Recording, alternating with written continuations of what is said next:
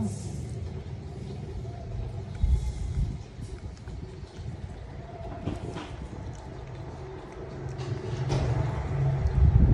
ngon hả?